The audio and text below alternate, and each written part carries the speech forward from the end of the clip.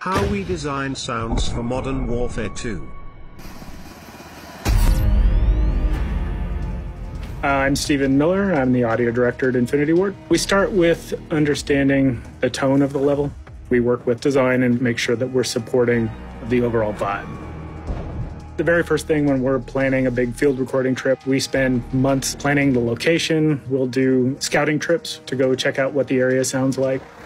For this project, we've recorded weapons of all kinds small arms, RPG, tank cannon fire, three different helicopters, weapon reloads, explosions.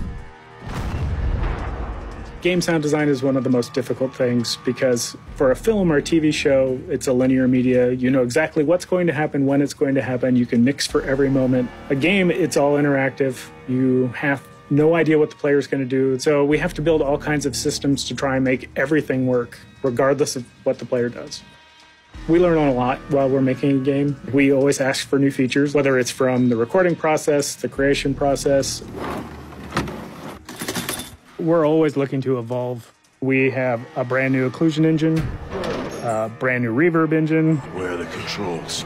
We also have improved 3D directionality, which is really helpful if you're trying to, you know, hunt people by footsteps and, and get the surprise on them as they come around a corner. Modern Warfare 2, to put it simply, is bigger, badder, and more dynamic than it's ever been.